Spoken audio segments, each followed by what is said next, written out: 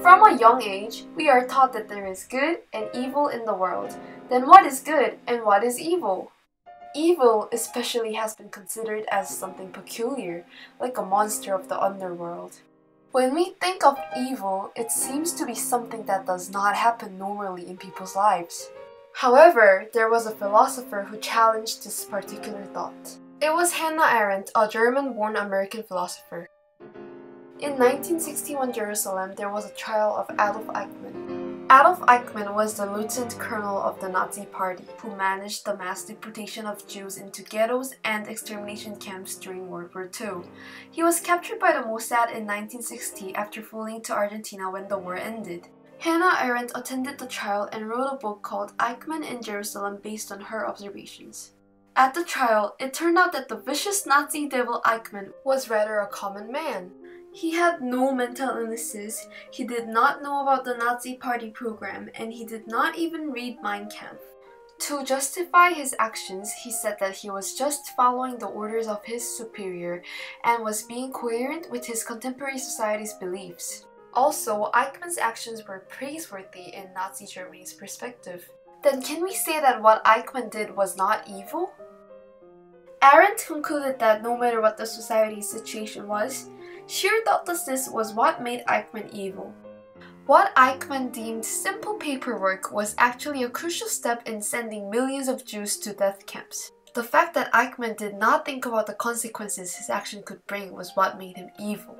His unquestioning obedience to his orders made him a criminal who contributed to a genocide.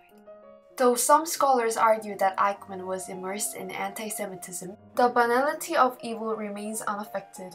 People used to believe that evil is something that only can happen in serial killers, that evil is a distant matter beyond our judgment. However, the word and thought defying banality of evil was something that could happen in anyone. Then, what are some forms of evil in the modern society? What is an activity not punished by the law but is still evil? I would say watching spycam pornography is the evil activity. Spycam pornography, a common crime in South Korea, also known as molka or hidden camera crime, are voyeuristic footages taken without consent by using hidden cameras at private places like public bathrooms and motels. This is not only a matter of spycam pornography. Watching any sexual footage taken without consent is contributing to the growth of evil. One might wonder, what if we can't discern? Well, it is a widely known fact that those footages indicate in their titles that they are taken without consent. Also, even if it may be impossible to completely avoid spycam pornography, it is important to be aware of the harm it can cause to the victims. There has been 26,654 victims, whom were mostly women during the past five years in South Korea. Though watching spycam pornography is not punished in many countries, it is still a crime of sheer thoughtlessness. One might deem it as simple porn, but watching it is an evil deed that takes away the victim's privacy and human rights. In a way, it is repeating what Eichmann did out of sheer thoughtlessness.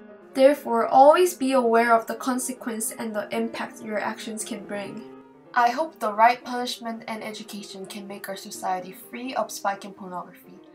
Thank you for watching.